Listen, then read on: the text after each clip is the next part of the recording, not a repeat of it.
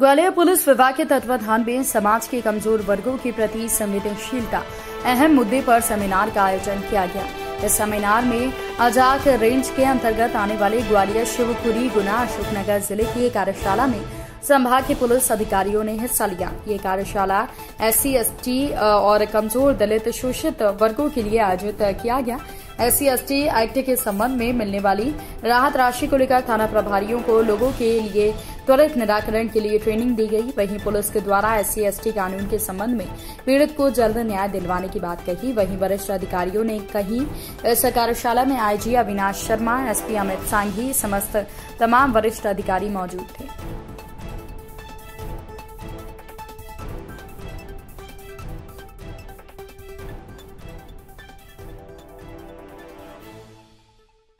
फ़र्क पड़ेगा।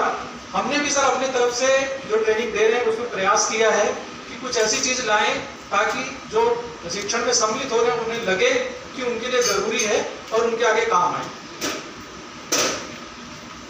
सर, अगर फोल्डर की बात करें तो हमने तीन चीज़ें इसमें नहीं की हैं। पहले तो हमने ये 2000 प्रतियाँ छपवाई सर,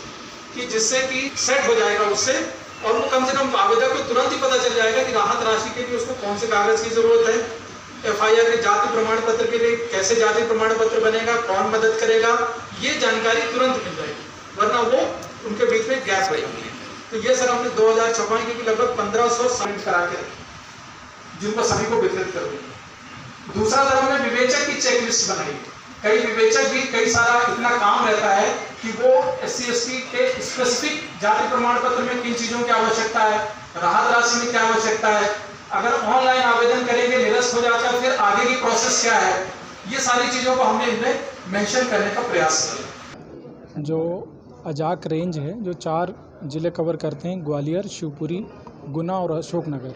उनमें जो एस सी एक्ट के तहत अपराध होते हैं या अन्य समाज के कमज़ोर वर्गों के संबंध में जो अपराध होते हैं, उसमें पुलिस जो विवेचक हैं, पुलिस के अधिकारी हैं, उनमें संवेदनशीलता डेवलप करने के लिए एक सेमिनार आयोजित की गई है, जिसमें लिमिटेड लोगों को लगभग 37 लोगों को ही कॉल करके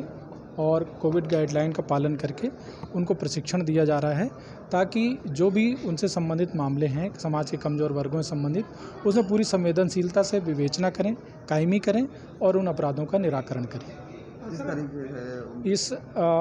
जो सेमिनार है उसका उद्घाटन आईजी साहब ने और एसपी ग्वालियर साहब ने किया है और इसमें उप पुलिस अधीक्षक निरीक्षक और उप निरीक्षक स्तर के अधिकारी इसमें शामिल हैं। शासन द्वारा जो फंड आता है उसको लेकर भी बात कही गई उसका सही उपयोग जी हाँ राहत राशि का जो प्रावधान है साथ में अगर कोई व्यक्ति गवाह आता है तो उसको उस दिन की मजदूरी और उसको भोजन का जो पैसा है उसको वितरण किया जाए। राहत राशि के अलग अलग स्टेज हैं जो एफआईआर के समय की चालान के समय की और प्रकरण के निराकरण के समय की उन स्टेजेस में पूरी संवेदनशीलता के साथ प्रकरण भेजे जाएँ। इसके साथ ही अकेले पुलिस के साथ साथ इसमें ट्राइबल डिपार्टमेंट जो है और उसके साथ में जो हमारे राजस्व अधिकारी हैं एस साहबान हैं, बैंक अधिकारी हैं, सभी स्टेक होल्डर्स हैं, जहाँ से जाति प्रमाण पत्र मिलता है, जहाँ से खाता खुलता है, क्योंकि इसमें क्योस्क वाले खाते मान्य नहीं होते हैं। उन सभी को भी हमने इसमें आमंत्रित किया है कि वो अपनी बात बताएँगे और जो हमारे प्रतिभागी हैं, उनकी जो क्वेरी होगी, उनका समाधान करेंगे।